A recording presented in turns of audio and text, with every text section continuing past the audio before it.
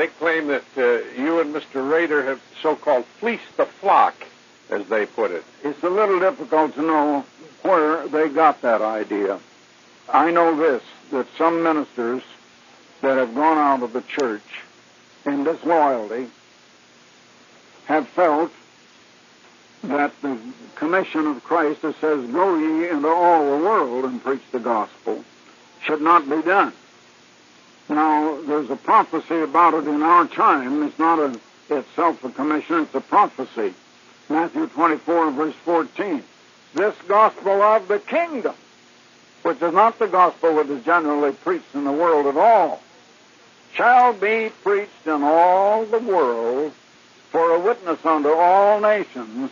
Then shall the end of this present civilization and era of time end, and Christ will come and set up the kingdom of God. Doesn't mean the end of the earth or anything of that kind, of course. That work, uh, that's what God wants done, and it's going to get done, and man can't stop it. But uh, in the courts, we are concerned with the laws of man, and we never even mention the laws of God because they would, they would only laugh at it. They don't believe it. And now it's going into the world.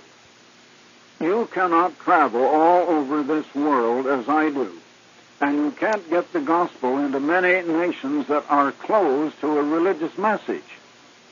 You can't unless the door is open to the top of the government.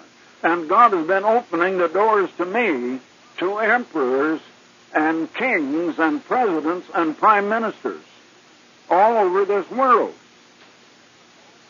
And then I began to hold meetings of uh, maybe their lawmaking body and, top people in the government and in business, and then pretty soon we uh, we get campaigns going into the grassroots of their country and getting the gospel in there. That's all, and we have no extra grind or anything.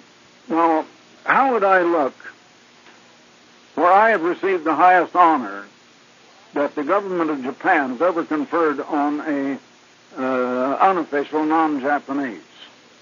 How would it look if I went over there and got into some third-rate hotel back on an alley somewhere and uh, wore patched overalls and came in looking like a, a hippie that uh, hadn't had a bath or a shave in about two months?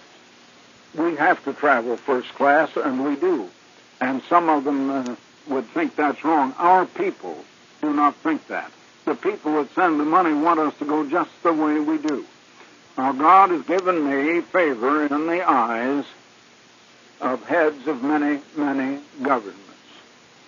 And as a result, I've been able to hold campaigns and evangelistic campaigns and meetings in those countries. And I have no difficulty anywhere I go. Hotels, anywhere, they, they speak English. And uh, the gospel is getting out. Now, we're not trying to, as they say, get people, quote, saved, unquote. God has not sent us to do that. I like the word announcement. It's not used in the Bible, but that's what it is. In other words, we're not proselyters. We're not trying to get or take members away from someone else. I wouldn't turn a finger to take someone from another church. But if he wants to know a little more truth than he knows, I'd be glad to help him.